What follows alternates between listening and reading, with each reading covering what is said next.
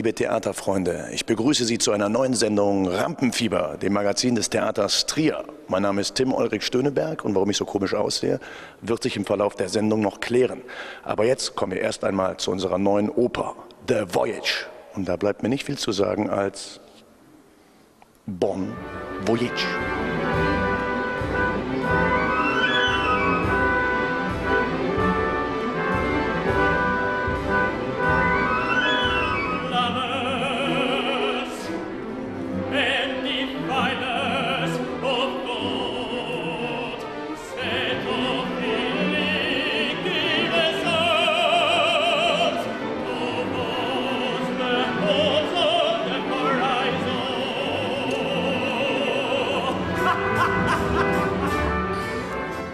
Ja, Philipp Glass ist ja erstmal ein weltbekannter äh, Komponist. Ich habe noch nie mit Musik von Philipp Glass gearbeitet, obwohl das viele meiner Kollegen, Choreografenkollegen tun.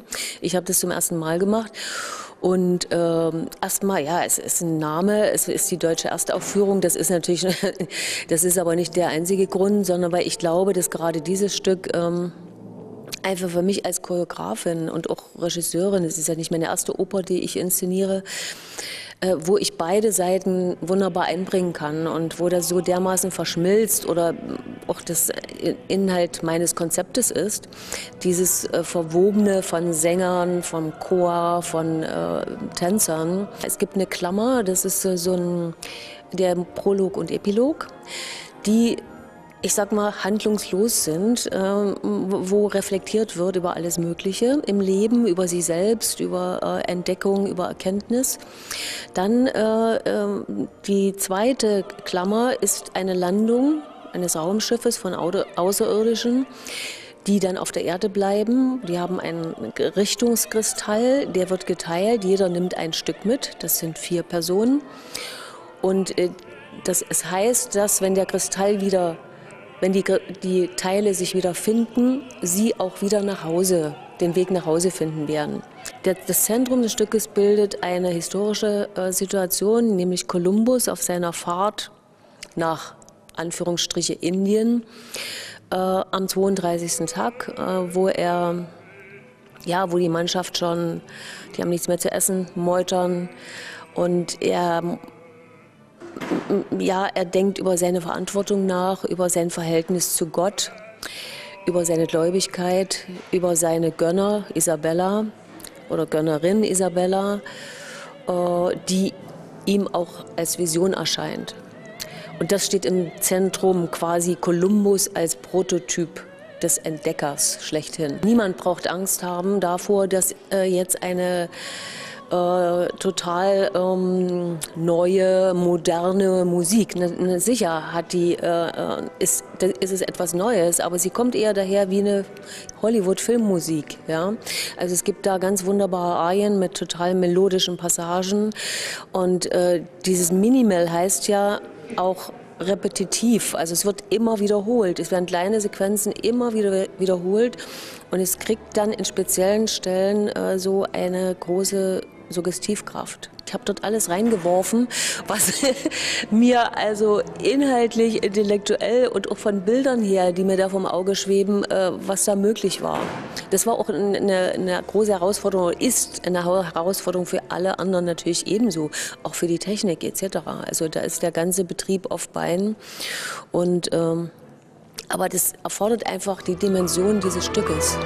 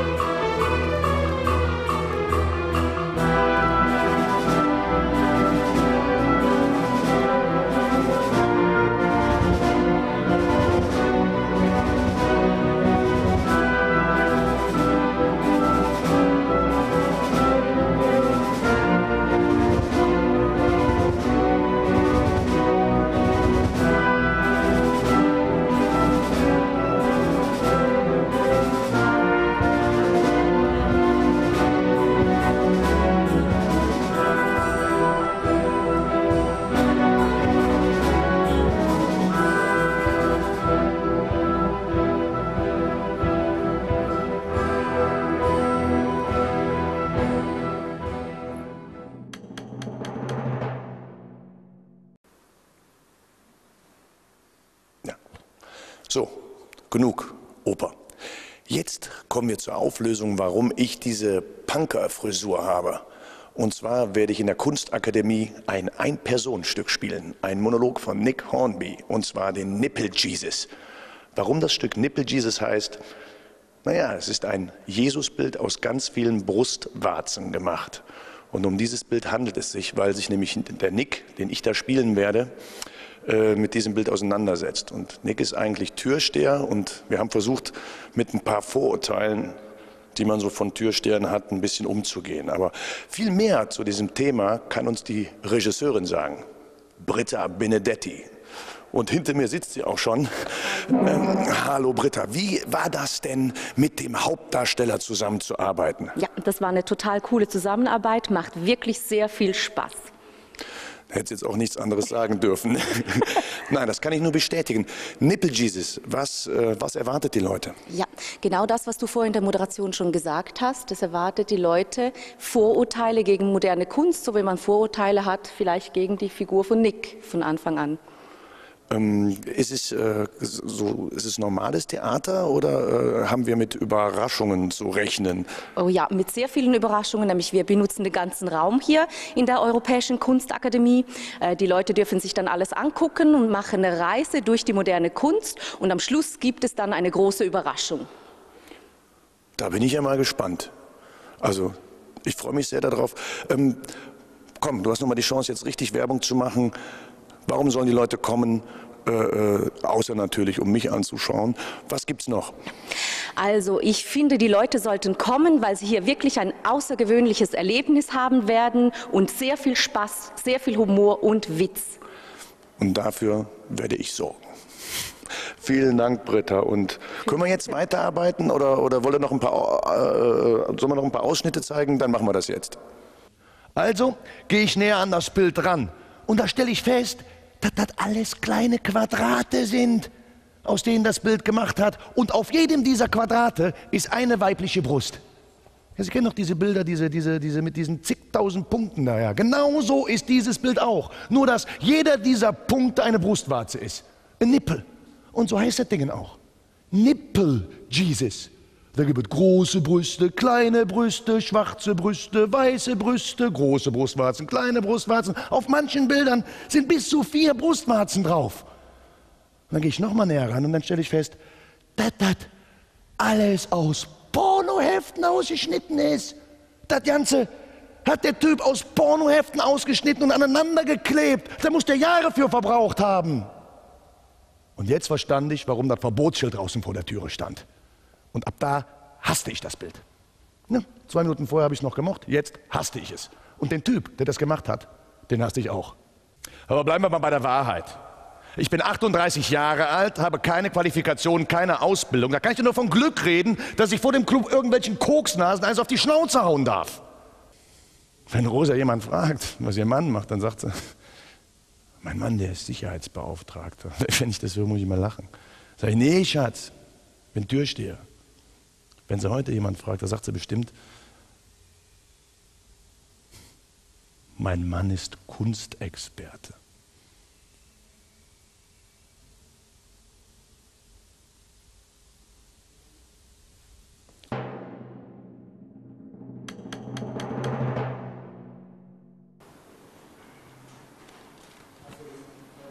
Ich sitze hier gerade in der TUFA, eben noch in der Kunstakademie und jetzt schon in der TUFA weil hier werden wir gleich Theatersport spielen und ich überwache ein wenig den Aufbau. Da kommt auch gerade der Musiker. Na, die Leute sind noch nicht da, aber die werden gleich noch eintreffen. Tracy Letts Schauspiel Eine Familie behandelt eben eine Familie. Ich habe eine große Familie. Ich habe drei Schwestern und vier Brüder. Das ganze Schauspielensemble ist in diesem Stück vertreten, bis natürlich auf mich, weil ich spiele ja den Nipple Jesus in der Kunstakademie. Oberhaupt der Familie ist Violet Weston, die von der bekannten Schauspielerin Diana Körner gespielt wird. Nach einer Probe haben wir mit ihr gesprochen. Wenn ich meine Mutter Lügnerin genannt hätte, dann hätte sie mir den Kopf von den Schultern geschlagen. Äh, ich habe gesehen, dass du Beverlys Unterlagen durchgesehen hast. Ah, nicht komplett. Hast du einen Schatz gehoben? Nicht ganz, aber es sieht so aus, als hätte er neue Gedichte geschrieben. Wirklich? Ja, ich äh, habe ein paar Notizen. Ihr Mädchen wisst, dass es ein Testament gibt. Mom, Ja, also es ist schon lange her, dass wir uns darum gekümmert haben, aber... Mom, darüber wollen wir jetzt nicht reden. Aber ich will darüber reden!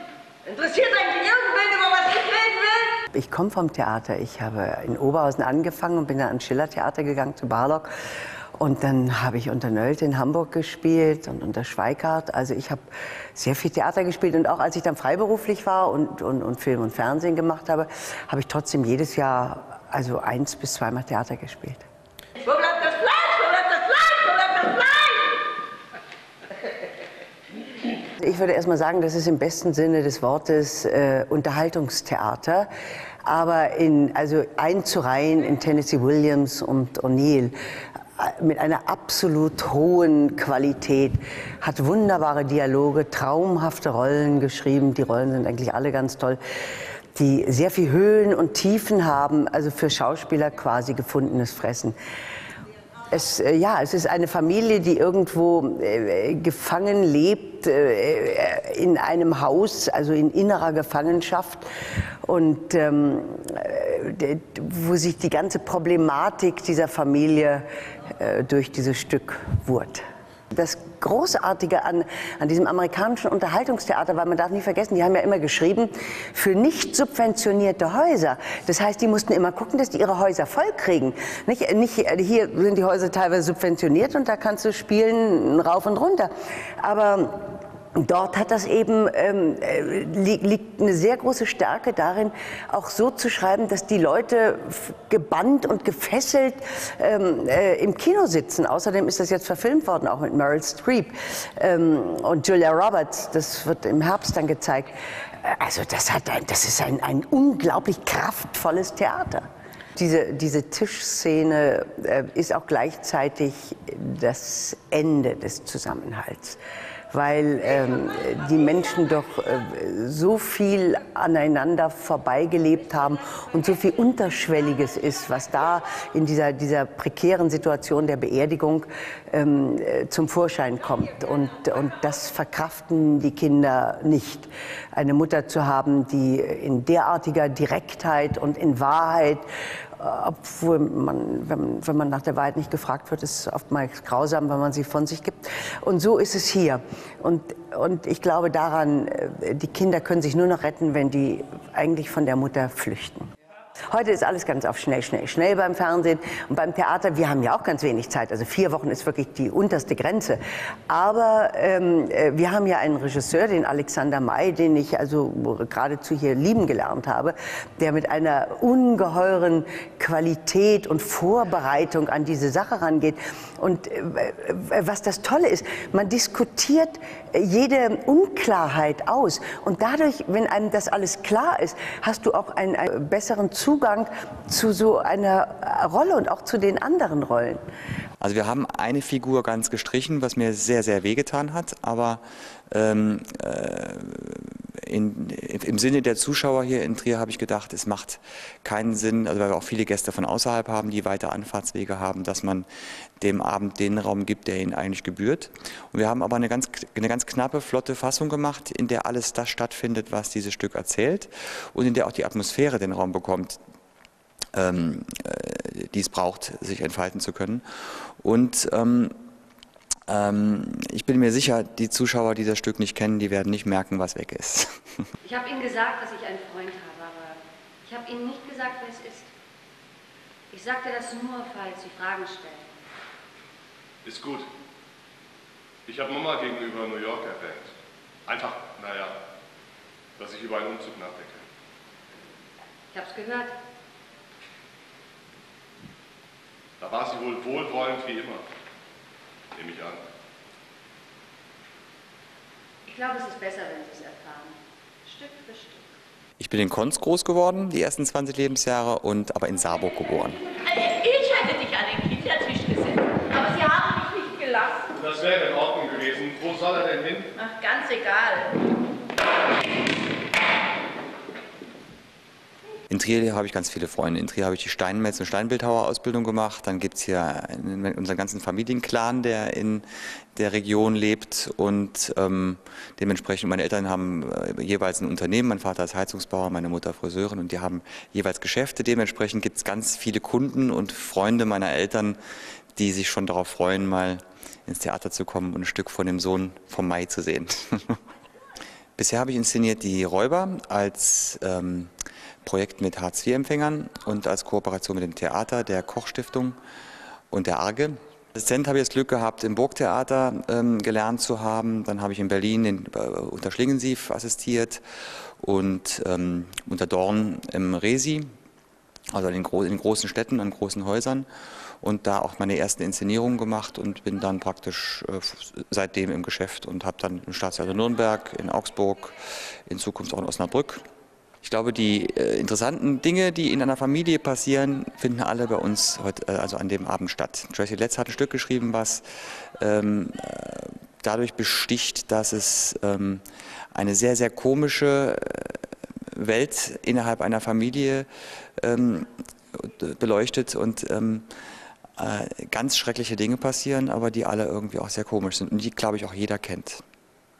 Also dieses, und dieses Ensemble ist großartig, macht großen Spaß, mit den Schauspielern zu arbeiten und die haben sich in der sehr schnellen Zeit auf mich und meine Art zu arbeiten eingelassen. Und ähm, gerade, also eine der Qualitäten, die mich sehr begeistern, ist, dass es hier auch möglich ist, ähm, sehr, äh, sehr minimalistisch zu arbeiten, also filmisch zu arbeiten. Reingehen, reingehen, reingehen, Sie werden begeistert sein. Man sollte sich eine Familie anschauen, um über all die Dinge mal herzhaft lachen zu können, die einem zu Hause im Privaten auf den Keks gehen.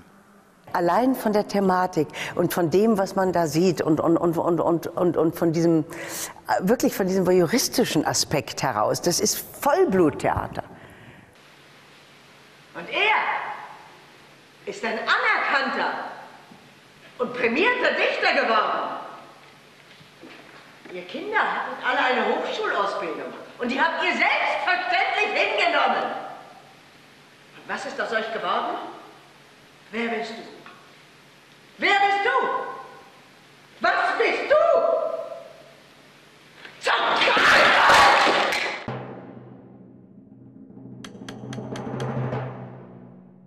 Also ich sitze hier in der Garderobe der Tuchfabrik, kurz vor Theatersport und der Saal füllt sich langsam. Aber da werden wir auch gleich noch mal gucken gehen. Aber ich muss noch eine Ansage machen. Und zwar auch in diesem Jahr gibt es wieder eine Kooperation mit der Universität Trier. Die studentische Theatergruppe Bühne 1 probt schon fleißig im Studio. Und zwar für das Stück genannt Gospodin. Rampenfieber war dabei. Und das, hat er gedacht, ist ihm wahrscheinlich passiert. Er, er kennt das ja. Aber es ist ihm halt noch nie passiert, dass er danach nicht mehr wusste, worüber er sich so aufgeregt hat. Und so war das da. Damals, am Anfang. Die Bühne 1 ist ein Kooperationsprojekt des Theaters Trier mit der Universität und mittlerweile auch der Fachhochschule Trier. Wir führen bereits zum dritten Jahr dieses Jahr ähm, ein Stück hier an der Studiobühne des Theaters auf. Die Akteure sind alles Studierende des, der Universität und äh, wir haben dann aber auch noch weiterhin Unterstützung von äh, motivierten Leuten der Fachhochschule, die uns gerade im Bereich Grafik und Design, Bühnenbau etc. tatkräftig zur Seite stehen. Also initiiert wurde das Ganze im Fachbereich äh, Germanistik auf Anraten und äh, tatkräftige Unterstützung von Professorin Schössler. Ähm, unter den Studierenden sind allerdings äh, Leute aus äh, den unterschiedlichsten Fachbereichen. Also es sind nicht nur Germanisten dabei, auch wenn viele sich natürlich äh, dem widmen, aber es sind auch noch Slavistik haben wir mit dabei. Ähm, Juristen, ich selbst studiere Politikwissenschaft, also es ist ein ganz breites Spektrum an Leuten, die sich für Theater begeistern. Das ist dann die Gemeinsamkeit, die uns alle hier hinführt. Ja, die Gruppe ist ein wenig kleiner als im letzten Jahr. Dennoch haben wir dieses Jahr ähm, acht Schauspieler, die spielen, äh, sowie noch äh, zwei Helfer für Bühne und äh, Grafik und unseren Helfer für die Pressearbeit und das Kostümbild. Und wir sind zu dritt in der Regie. Ähm, grundsätzlich sind wir immer offen für Leute, die motiviert sind und Lust auf Theater haben. Dieses Jahr ist es natürlich ein bisschen spät. Ich führe dieses Jahr zum ersten Mal Regie. Ich äh, hatte das große Glück, vorher auch schon in verschiedenen Theaterproduktionen sowohl als äh, an der Schule ähm, teilzunehmen.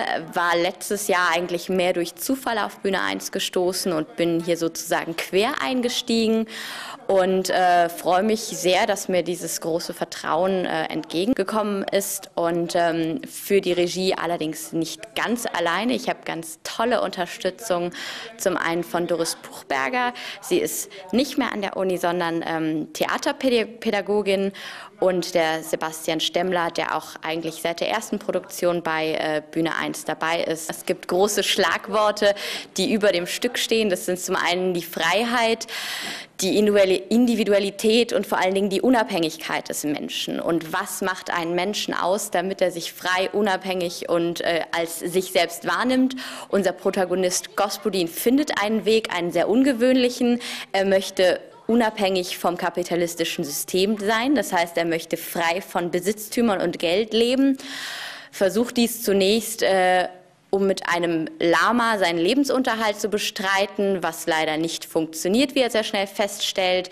Und auch ansonsten werden ihm aus seinem sozialen Umfeld immer wieder Steine in den Weg gelegt, dieses Ziel zu erreichen, diesen Lebensweg zu verwirklichen. Aber er hält trotzdem standhaft daran fest. Ob ihm das gelingt, das möchte ich hier natürlich gerne offen lassen. Nur so viel sei gesagt, dass es am Ende gar nicht so einfach ist, sich für eine Ideologie zu entscheiden ohne die vielleicht doch mal zu hinterfragen, ob es nur schwarz und weiß gibt. Heute haben Sie mir, Sie haben es weggenommen. Und es war meine Lebensgrundlage. Annette. Hermann war heute hier. Er wollte den Verstärker ausleihen. Annette, mein Lama ist mir heute weggenommen worden. Ich habe gesagt, stört dich sicher nicht. Hermann ist doch recht ordentlich. Weißt du noch, als wir in Spanien im Urlaub waren? Da hat er unser Zelt abgewaschen, weil wir unter einer harzenden Zikade geschlafen haben. Zypresse. Hat es mit seinen eigenen Händen abgewaschen. Eine Zikade ist ein Insekt. Dabei hat das so mit der Haut. Außerdem war das sein Zelt. Er konnte sich zwei Wochen lang nicht das Gesicht waschen. Konnte er doch. Und er hat meinen Waschlappen mitbenutzt. Das glaube ich nicht. Doch, er wollte nur nicht, dass ihr es wisst, weil er so beeindruckt war, wie ihn wegen seiner Selbstlosigkeit bewundert hat. Ist ja wieder typisch. Annette, ich will dir eigentlich was ganz anderes erzählen.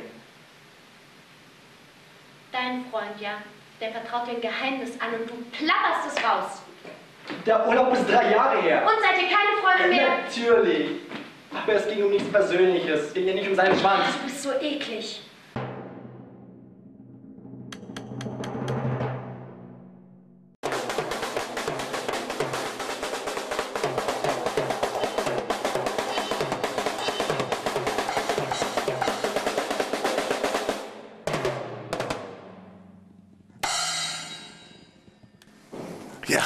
Ich trommel mich schon mal warm, weil gleich geht's ja wieder ab bei Theatersport und dann will ich natürlich meine Trommelmuskeln gestellt haben. Aber hier noch schnell eine weitere Moder Moderation. Oh, hier geht's schon richtig los. Also, Moderation 5. Krieg. Ein für die Jugend unterschätztes Thema, aber weltweit immer wieder aktuell. Begleitend zu unserer Produktion Mutter Courage im Großen Haus hat der Theater Jugendclub ein Projekt mit dem Titel Courage Kinder vorbereitet, das im Rahmen der gewaltpräventiven Wochen der Stadtjugendpflege in der Tufa aufgeführt wird. Wir waren natürlich bei den Proben dabei und haben die Theaterpädagogin Silvia Martin getroffen und die Regisseurin Judith Kriebel. Viel Spaß dabei.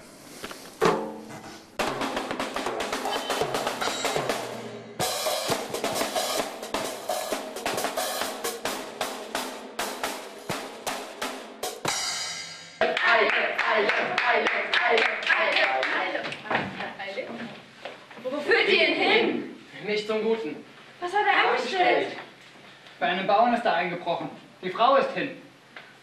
Wie hast du das machen können? Ich habe nichts anderes gemacht als vorher auch. Aber, Aber im Frieden. Ach, halt das Maul.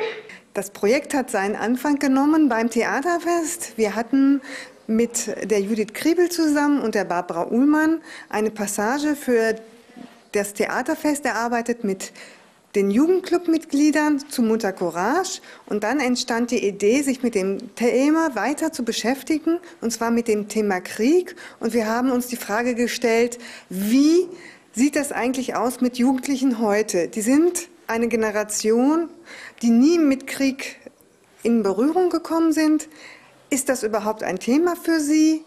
Gewalt ist ein Thema generell in unserer Gesellschaft, aber Krieg eben nicht. Und auch die Eltern der Jugendlichen, die am Jugendclub teilnehmen, haben Krieg selbst persönlich nicht erlebt. Eventuell noch die Großeltern als Kinder, aber das ist auch schon eine lange Zeit her. Und wir haben gedacht, wir wollen das Thema einfach von verschiedenen Seiten beziehungsweise von der Seite der Jugendlichen beleuchten und haben uns Texte aus Mutter Courage vorgenommen, aber eben auch andere Texte. Wir haben improvisiert zu dem Thema Krieg, sodass auch äh, eigene äh, Gedanken von den Jugendlichen in die Collage eingeflossen sind. Über heute ist es, wie kann Dominik mit wollen wir doch schon längst gefangen Ja? Also in dem Moment, wo er sozusagen entdeckt wird, ist für euch, komm, den holen wir uns. Ja? Geht rüber und dann nehmt ihr ihn genau in die Also am Jugendclub-Projekt dieses Jahr machen neun Jugendliche mit. Im Alter so etwa von 15, 16 sind die meisten alt. Und unser Projekt heißt Courages Kinder, ähm, weil es ausgehend von dem Stück Mutter Courage, aber eben den Fokus setzt auf die Kinder, wobei wir also auch sehr weggehen vom Text, also von, von Mutter Courage und mit vielen anderen Situationen und Texten uns beschäftigen, ähm, immer eben unter dem Gesichtspunkt, was macht äh, Krieg mit Kindern, was macht Krieg mit Jugendlichen, was gibt es da für Biografien. Die Jugendlichen haben ähm, über einen langen Zeitraum sehr frei gearbeitet zu den Themen Krieg und Frieden, sind ganz assoziative Sachen entstanden ähm, und ich denke, das ist ganz spannend, sich anzuschauen. Das sind ja keine Profis, also es ist natürlich eine andere Herangehensweise, als äh, wenn man eben mit professionellen Schauspielern arbeitet. Man muss sich sicherlich anders einlassen auf die Jugendlichen, dafür haben die aber auch noch eine ganz andere Energie, ähm, sehr viel Spielfreude. Das macht einen total Spaß, gerade eben auch mit ähm, Improvisation zu arbeiten mit den Jugendlichen. Die haben auch sehr viele eigene Ideen eingebracht, selber recherchiert nach Texten, Bildern, ähm, ihre eigenen Assoziationen zusammengetragen. Das war auch, was uns wichtig war, dass es eben nicht von also eben nicht, sagen wir mal, von der Regieseite aus funktioniert das Stück, sondern dass wirklich die ähm, beteiligten Jugendlichen selber äh, mit, mit dem, was sie interessiert, da reingehen. Und eben in der Improvisation ist eben aus dem Material, was wir mitgebracht haben und dem, was die Jugendlichen eingebracht haben, eine Collage entstanden, die, glaube ich, wirklich ganz spannend anzuschauen ist. Wir haben keine Zeit, komm. Was sollen wir deiner Mutter ausrichten? Ach, sagt ihr, es war nichts anderes. Sagt ihr, es war dasselbe. Oder sagt ihr gar nichts.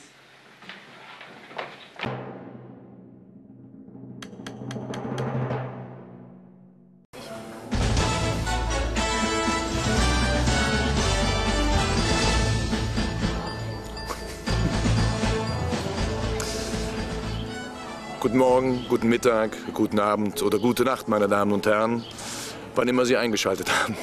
Die Nachrichten. Foyer. Wer nicht genug von Bertolt Brecht bekommen hat, obwohl er schon eine Mutter Courage gesehen hat, kann sich am 7.5. noch eine Brecht Late Night verinnerlichen. Brecht von A bis Z Late Night. Heiteres, Kurioses und Bissiges von Bertolt Brecht. Achso, ich höre gerade, die Termine werden unten eingeblendet. Dann weiter im Foyer. Als Rahmenprogramm zu unserer Oper The Voyage, also The Voyage, bietet Musikdramaturg Peter Larsen eine Columbus Late Night an. Für alle, die nicht schlafen können. Um 2 Uhr morgens kam das. Ich weiß, das ist auch noch. Okay, weiter geht's. Großes Haus. Ole, ole. Spanien zieht in die Trierer Weltmusikerei ein. Der Gitarrist Juan Carmona lässt mit seinem Ensemble, gepaart mit dem Philharmonischen Orchester der Stadt Trier unter der Leitung von Generale Musikdirektor Viktor Pühl die Seiten krachen. Nochmal Foyer. Märchen aus der Zaubertüte. Wie immer fantastisch interpretiert von der Musiktheatergruppe Pastorella zur Kultur. Der Deutsche Kulturrat ruft bundesweit zum Tag für kulturelle Vielfalt und gegen Kulturabbau auf. Am 21. Mai 2011 finden unter dem Motto Kultur gut stärken im gesamten Bundesgebiet Veranstaltungen statt. Auch das Theater Trier beteiligt sich mit mehreren Aktionen und Veranstaltungen. Unter anderem wird es eine Menschenkette aus Ensemblemitgliedern und Theatermitarbeitern geben. Großes Haus. Unser neues Familienkonzert entführt Sie und euch über den großen Ozean in die neue Welt. Amerika, Amerika. Studio. Was macht eine Witwe aus? Die Bühne 60 Plus des Theaters Trier hat sich mit diesem Thema beschäftigt und klärt das Publikum mit viel Humor darüber auf. Schaut mich doch an. Ohne Mann bist du doch nichts. Oh, die Leute, die haben alle immer gut reden. Mach doch mal ein Jahr überhaupt gar nichts, haben sie alle zu mir gesagt.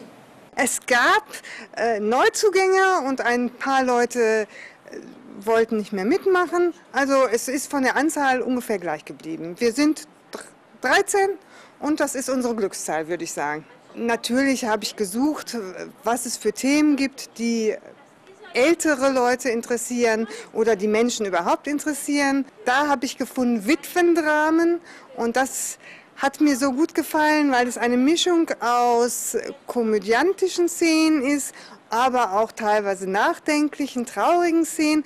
Die Szenen sind relativ kurz, werden aneinander gehängt, so dass man auch viele unterschiedliche Charaktere zeigen kann, viele Personen einbringen kann. Und ich dachte mir, das wäre was für unsere Truppe. Wir machen auf jeden Fall weiter und äh, Neuzugänge sind auch immer herzlich willkommen. Vor allen Dingen männliche Neuzugänge, weil wir in vielen Theatergruppen haben wir einen weiblichen Überschuss. Dagegen ist nichts einzuwenden, aber wir würden uns natürlich über einige Männer freuen, die unser Team noch verstärken.